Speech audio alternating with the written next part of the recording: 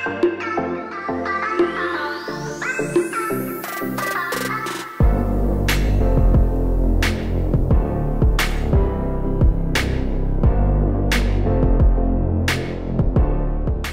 привіт! Мене звати Анастасія Саморокова. І блог про жестову мову продовжується. І сьогодні я хочу вам нагадати про правила етикета при спілкуванні з людьми, які мають порушення слуху. Перший момент.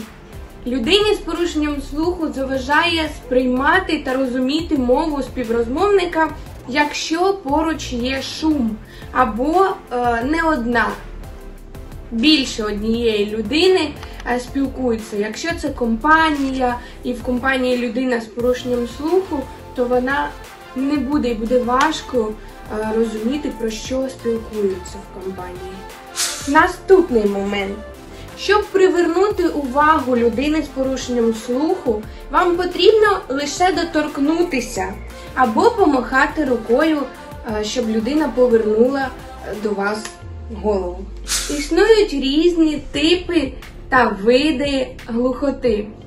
Деякі люди з порушенням слуху взагалі не розмовляють суто жестовою мовою.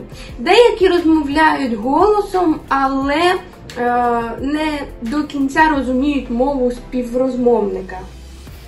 І можуть чути та не розуміти про що кажуть. Потрібно розмовляти чітко та голосніше.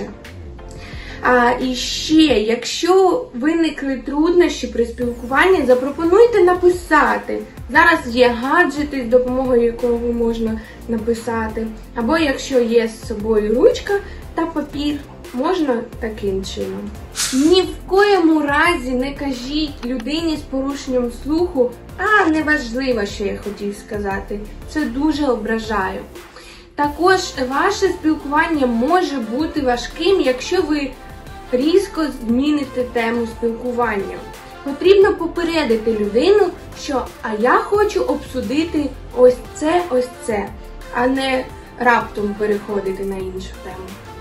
Говоріть простими короткими словами, фразами.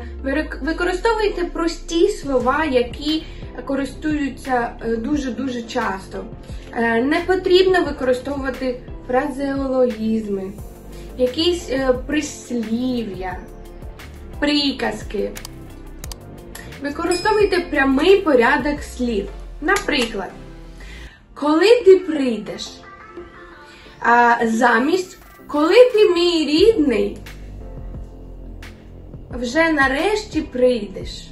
В наступному влозі я продовжу цей список е, правила етикету спілкування з людьми з порушенням слуху. А сьогодні в нас тема жестів буде взуття. Перший жест взуття, тому що ми уявляємо, що це підошва, а це верх. Взуття. І робимо рух таким чином, тому що зазвичай вона рветься. Взуття. Наступний жест це босоніжки. Ми робимо узор, який зазвичай на босоніжках, так? Босоніжки.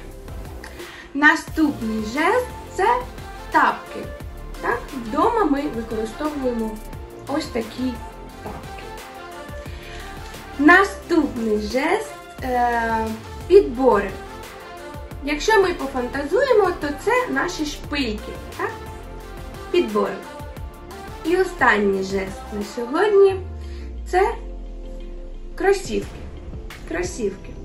А ми робимо рух з носочку і ось, як начебто, робимо ширше. Тому що на п'ятках зазвичай е, більше, ніж на носочку. Кросівки. Тож підписуйтесь на наш канал, ставте лайки та залишайте свої коментарі. Я дуже-дуже на них чекаю. Тисніть на дзвіночок, щоб не пропустити наступний влог. Та я вам бажаю чудового настрою. Бувайте!